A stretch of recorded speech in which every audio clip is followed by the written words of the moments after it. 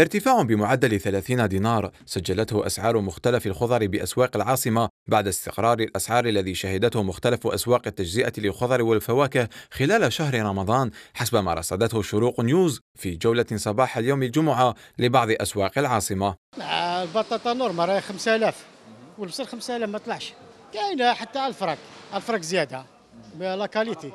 آه في رمضان كيما الثوم راهي في المستوى راهي 50000 كيلو. آه سما ما زادت حاجة ماشي حاجة. بارابور رمضان. هاي مليحة. عندك كيما زروديه ماشي موسم تاعها. رانا في موسم تاع الصيف. هي نورمالمون يدير 10 بري تاعها. ما طلع ما قاعد هو هو. عندك الحار. الحاره و16 15 سما طالع شوية. لا صالات كانت اونتر 80 دينار وحتى 100 دينار لا بيت لا بيت العيد. لو دوزيام جو تاع العيد. روبرينا الخدمة. ولات حتى 140 دينار كيما اللي نبيعها هنايا parce que مخلصة زيادة. التجار أكدوا أن أسعار الخضر ارتفعت في أسواق الجملة نظرا لنقص التموين أياما بعد العيد. لو كاين نقص في التموين. بس علاه الناس مازالت معيدة مازالت كدا مازالت يسمى مازال ما دخلوش شايف؟